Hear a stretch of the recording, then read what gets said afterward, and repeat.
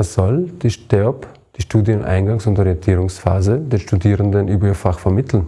Wichtig ist es natürlich einmal einen Überblick zu schaffen, äh, vielleicht auch den äh, empfohlenen Studienpfad vorzustellen äh, den Studierenden zu erläutern, warum es wichtig ist, beispielsweise äh, für ernährungswissenschaftliche Themen äh, zunächst einmal wirklich die naturwissenschaftlichen Grundlagen aufzuarbeiten, Anatomie, Physiologie zu erlernen, um dann wirklich in die Thematik der Ernährungswissenschaften einzusteigen. Also ich denke, das ist sehr, sehr wichtig. Je besser man sozusagen in den Grundlagen sich vorbereitet, desto einfacher ist es dann letztendlich dann wirklich dieses fachspezifische ähm, konkret zu vertiefen.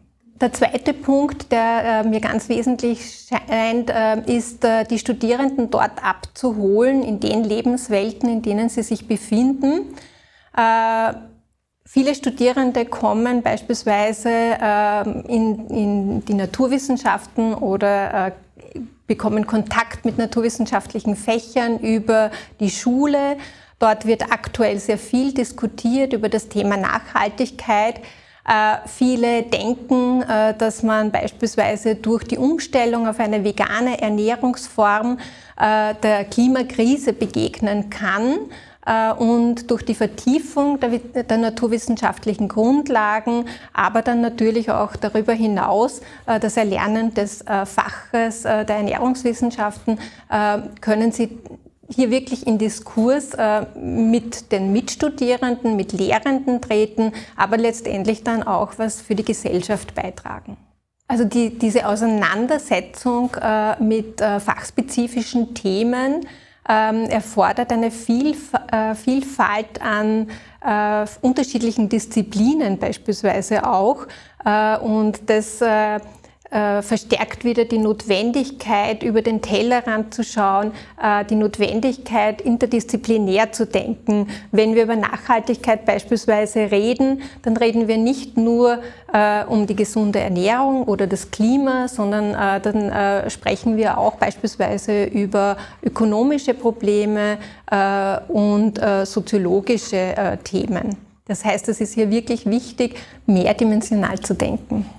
Was die fachliche Orientierung betrifft, so halte ich es für wichtig zu vermitteln, auf welche Weise eine bestimmte akademische Disziplin überhaupt zustande gekommen ist. Also die Fachgeschichte, die Wissens Wissenschaftsgeschichte äh, spielt da eine wichtige Rolle, dass Studierende sich einfach äh, aus einem bestimmten Verständnis heraus, wie Fragestellungen zustande gekommen sind, wie, wie äh, wann, zu welchen Zeitpunkten in der Geschichte eines Faches welche Fragen gestellt worden sind, dass hier so etwas wie eine historische Orientierung möglich ist. Dann ein ganz wichtiger Punkt, den man auch schon in dieser Phase, glaube ich, äh, ansprechen und vermitteln muss, ist, dass jedes Fach auf gewisse Weise seine eigene Sprache hat. Also das ist in manchen Fächern klarer und offensichtlicher als in anderen. Also dass ich eine bestimmte Fachterminologie habe. Wenn ich jetzt beispielsweise Chemie studiere, dann ist das vollkommen klar. Äh, dass ich da bestimmte Begriffe erlernen muss, die aus dem wissenschaftlichen Kontext kommen. In den sozialwissenschaftlichen Fächern gibt es eine stärkere Überschneidung mit Alltagssprache und mit Begriffen, die es auch in der Alltagssprache gibt.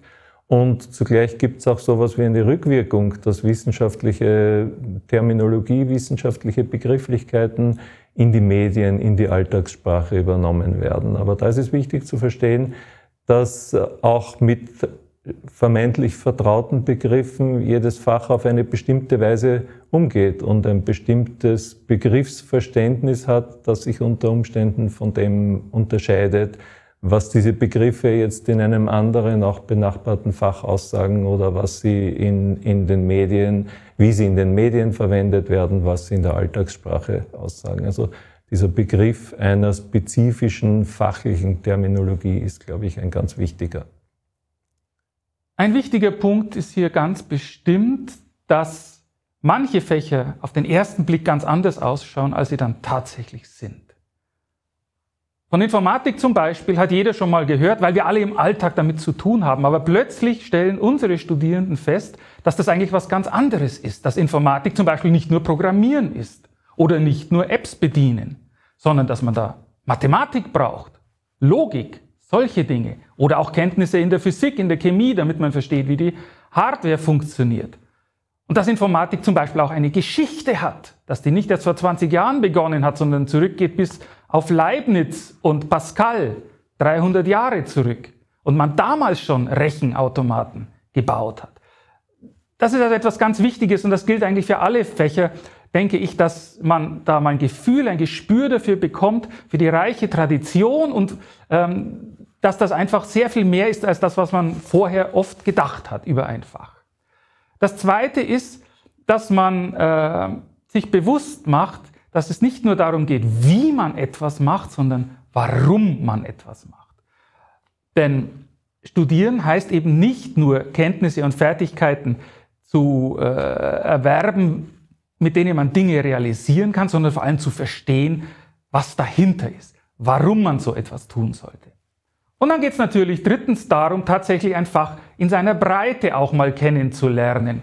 Äh, gutes DEOPS äh, beinhalten Lehrveranstaltungen, die ähm, möglichst viele Aspekte abdecken. In der Informatik haben wir darauf geachtet, dass wir eine Lehrveranstaltung über Programmieren haben. Wir haben eine über technische Grundlagen, also was denn die Hardware so treibt. Und wir haben eine über Mathematik, weil das einfach die logische, das logische Fundament des Fachs ist. Und auf diese Weise schnuppert man also in verschiedene Zweige sehr intensiv hinein und dann kann man eben entscheiden, ist das was für mich oder nicht.